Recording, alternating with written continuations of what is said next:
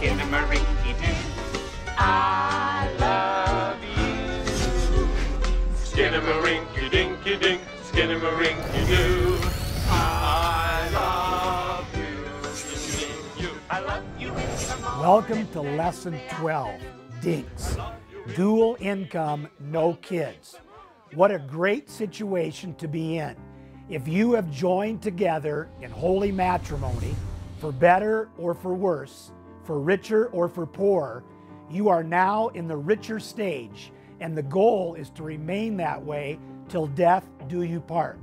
Proverbs 13:16 says, "Wise couples think before they act. Fools don't and even brag about their foolishness." Proverbs 13:20 says, "Walk with the wise and become wise. Associate with fools and get in trouble."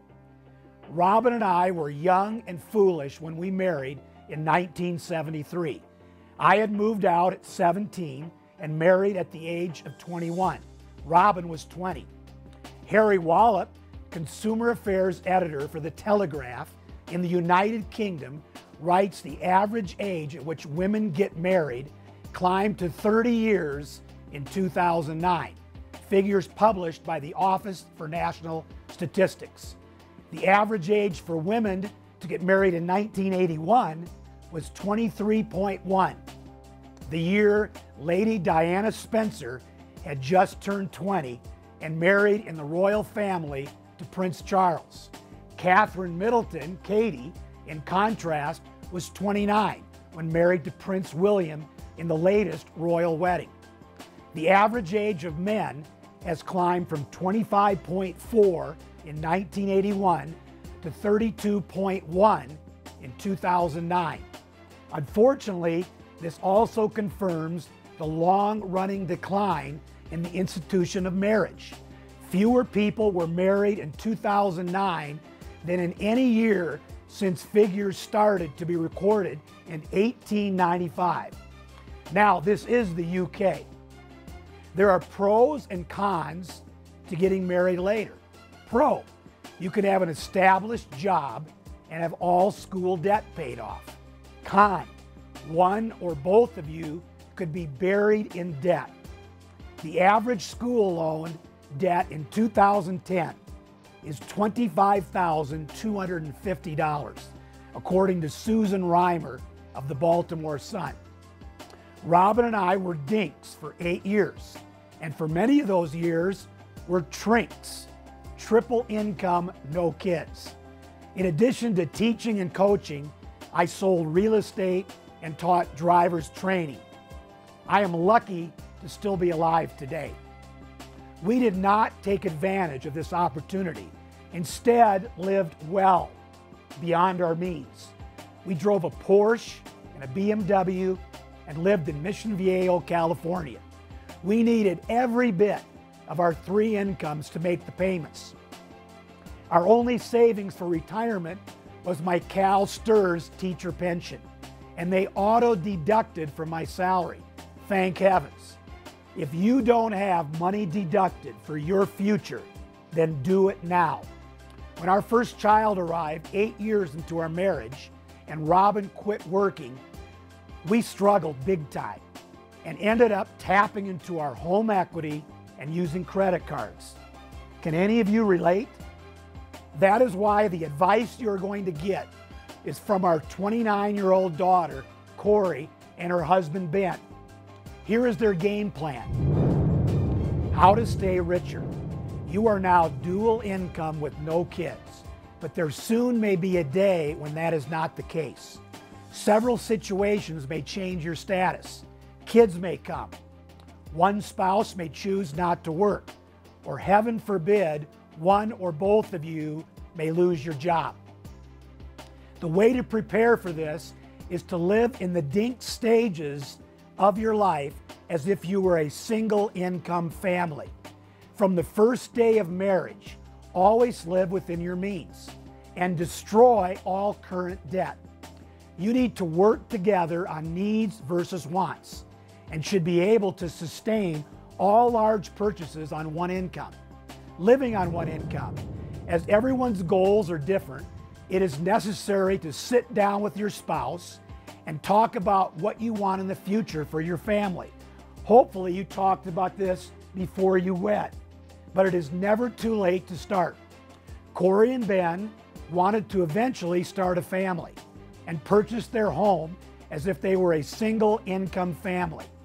If they could not pay cash for something, that meant they could not afford it, even cars. They both paid off school loans, and their only debt is their two mortgages. One is rented for well over the payment and almost paid off. There is very little risk associated with living a debt free life. Corey is now ready for motherhood when she separates from the Air Force in March of 2012 and they lose one of their incomes. Times to cheat. Month to month, you should be able to save one spouse's entire income. As there are many times in every diet where you should be allowed cheat days, the same goes with savings as dinks. On average, live on one income. But when there is something you really want, allow yourselves to indulge on occasion, as long as you can pay cash for that item. There is no reason to not reward yourselves for hard work. Remember why you marry each other in the first place and support each other's passions. Corey and Ben find pleasure in the great outdoors, boating, competing in triathlons, working out, rock climbing, and photography. And with these hobbies come expensive equipment. Staying healthy is important, and they believe together these have been worthwhile purchases, but still maintain a debt free standard of living, with the exception of the mortgage. In conclusion, dinks have a tough task. It is easy to live large like Robin and I. Big hat with no cattle. But you need to live responsibly and set yourselves up for future success.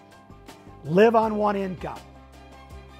Always live within your means. Destroy your debt with that second or third income. Have a three to six month emergency fund. Enjoy the lifestyle while you can. They say it costs $300,000 to raise a child in 2011. Proverbs 15:22. Plans go wrong for lack of advice. Many advisors bring success. Next lesson. We'll be having some fun with kids still on the payroll, the boomerang generation. Are you a graduate from college and still living with your parents? Are you a parent with your 27 year old still living at home? We have some humorous suggestions for your situation next week. And now for the Debt Free Squad Challenge of the Week.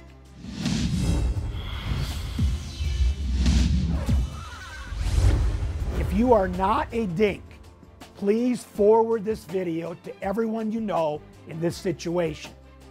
If you are a trink, dink, or dinky, no kids yet, then sit down with your spouse and get on a spend every penny budget.